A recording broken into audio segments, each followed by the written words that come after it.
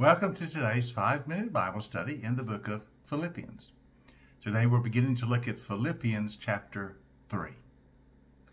Now, I told you yesterday in the concluding part of that session that chapter 3 is sort of a postscript to Paul's letter. When he begins chapter 3, it's almost as if Paul is making his concluding remarks. And then something else comes up that he has to address. All of chapter 3 is like a long P.S. Now, what do I say? It's it almost as if Paul was concluding his letter. Look at verse 1 of chapter 3. Paul says, Brothers and sisters, rejoice in the Lord. He reminds them again to be joyful in Jesus. Now, why do I say that's a concluding remark? Because that is exactly the way he concludes the letter. If you fast forward ahead to chapter 4, verse 4, when Paul actually does begin his concluding remarks, he says it again. Rejoice in the Lord always. I say it again, rejoice. See, that's his trademark way of closing out his letter. And then after that, he says, finally, whatever is true, whatever is right, do these things. In other words, he gives his final words. So it seems like as he started chapter 3, he was ready to give his concluding remarks, and then he realizes he has to say something else. I believe that before Paul concluded the letter, he received more news from Philippi. Perhaps another visitor from Philippi has come. But somebody has brought him a report that something is happening in the church that he must inform the believers about. And that something is that some false teachers have come to Philippi. Somebody has come bringing false teaching, and Paul considers those false teachers to be a great danger. And he must warn the Philippian believers, he must warn the Philippian church against these false teachers who have infiltrated their fellowship. Notice what it says about them. We're in verse 2 of chapter 3. This is where the PS or the postscript begins. Paul says, Watch out for those dogs, for those evildoers, for those mutilators of the flesh. Did you notice the change in tone? Verse 1, he says, Rejoice in the Lord. Rejoice always. It's good for me to tell you this. His, his tone, tone, is joyful. And then he receives some kind of word about these false teachers, and he switches entirely and says, I've got to warn you about these false teachers because they are dogs and they are workers of evil. Now, when he refers to these false teachers as dogs, that is a term of reproach.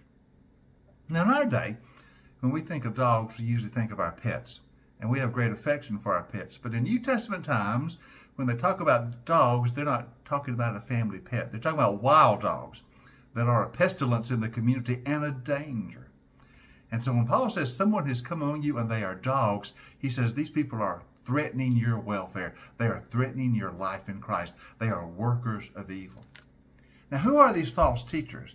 Who are, are these teachers that Paul characterizes as dogs and as workers of evil? What are they teaching? That brings such a strong word of warning from Paul to the Philippians? Well, we get an idea of what they're teaching when he says they are mutilators of the flesh. They, they're asking you to do something to your body that Paul says is, I consider to be mutilation, the way they're teaching it, and is a great danger to your spiritual life. That gives us an idea. Now, notice what else he says. Going on, he says, For it is we, that is, we true believers, who are the circumcision we who serve God by his Spirit, we who boast in Christ Jesus, we put no confidence in the flesh, though I myself have reasons for such confidence. So he identifies true believers as the true circumcision who put their confidence in the Spirit and in faith in Jesus, not in something you do to the flesh. Now that tells us who these false teachers are. One of the opponents of Paul in the early church were a group of people that historians call the Judaizers. These were people who taught Gentile Christians that in order to be true believers in Christ, you have to first become Jewish. They said before you can become a believer in Christ, you must first convert to Judaism. And one of the marks of Judaism, obviously, is circumcision.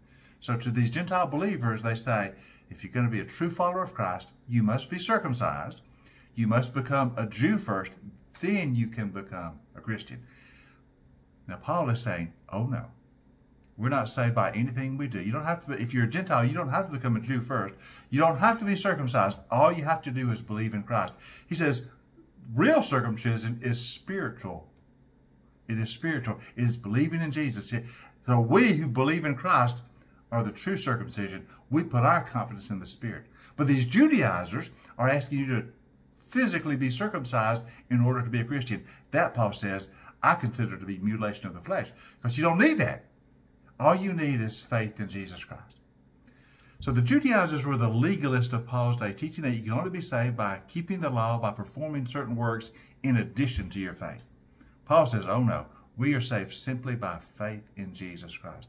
Not by our works, not by legal observance, certainly not by being circumcised. Our true circumcision, the true mark of being a Christian, is faith in Christ and the Holy Spirit in our lives. And those who teach otherwise, they are workers of evil because they're leading you away from Jesus. They are dogs. Don't listen to their teaching and don't believe what they tell you.